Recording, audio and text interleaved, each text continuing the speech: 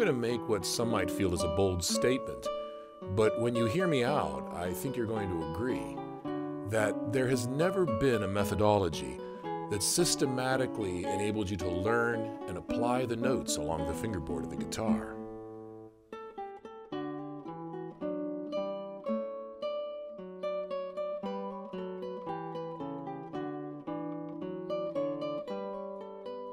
I'll ask students and colleagues, uh, how did you learn the upper notes, the upper positions along the neck of the guitar?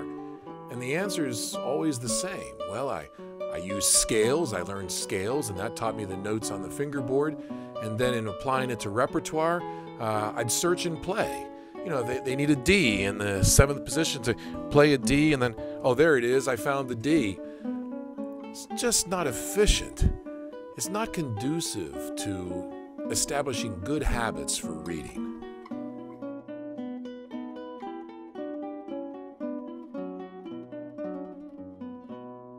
The goal is to establish instant recognition of all the notes along the fingerboard. You see a note on the staff, you instantly recognize what position and where it is that you have to play it.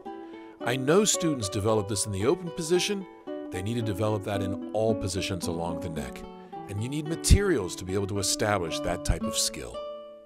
To achieve this, we need more than just scale patterns, because that's exactly what they are, are patterns. Once the student recognizes the pattern, they stop reading.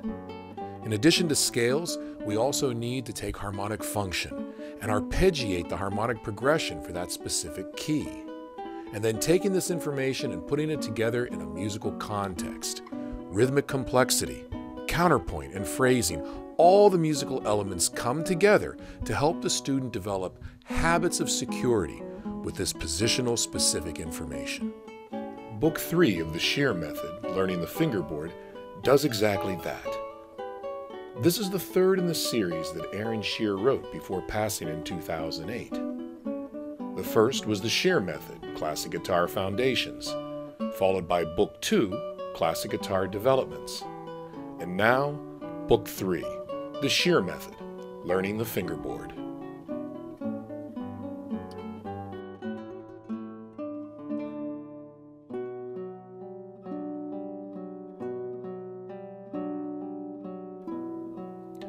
We begin Book 3 by organizing the scales into five basic forms. Then we apply them starting in the second position with guitar friendly keys, both major and minor.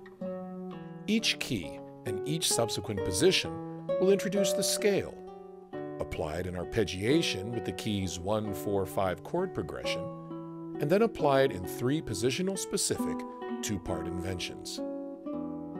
The first invention is easy, so the student can begin to establish habits of security with the new information. Then the second and third invention keep raising the bar with musical and rhythmic complexity.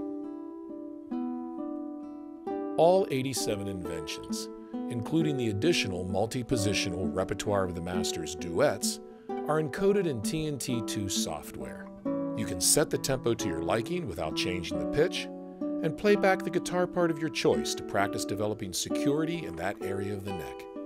This book is perfect for the student that wants to ascend the neck and develop instant recognition along the fingerboard, or the veteran guitarist that simply wants to sharpen their positional sight reading skills.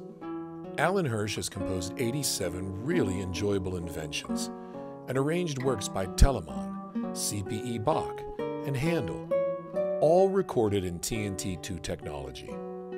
Along with videos and the Shearer Online supplement, learning the fingerboard is not just a book, but a media experience.